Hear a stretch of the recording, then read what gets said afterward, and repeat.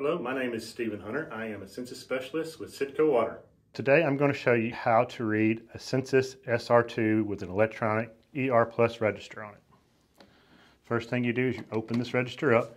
Now on this meter, this top right here, it shows you what size meter it's connected to. This meter is a 5 eighths by half meter, so it says 5 eighths there. And it's got the entire dashes there, and there's a decimal point right there.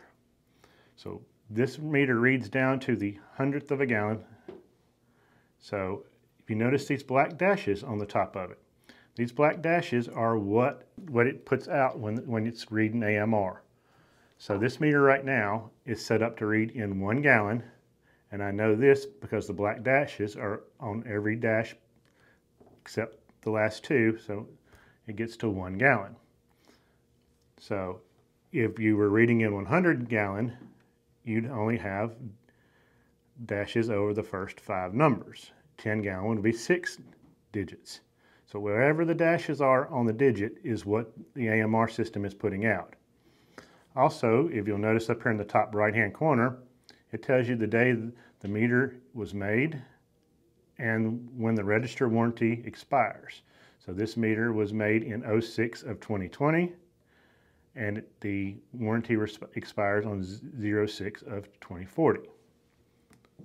Down here in the bottom, if there, there is a pulsing plus sign right here when water is going through it, that shows your flow finder. If there's a negative sign, that means the water is going backwards through it. Over here on this side, it shows that this meter is reading in gallons. If it was reading in cubic feet, it would have a CF there instead of the gal. If you close this register and open it back up, it swaps to the next mode, which is the alarm mode. And with a FlexNet system, this meter has several alarms in it, and they would show up here if this meter had an alarm on it. We flip this one more time. It's going to put it in flow mode that shows you that zero gallons per minute are, going through this meter currently, but if you had water flowing through it, it would tell you how many gallons per minute is flowing through this meter at a time.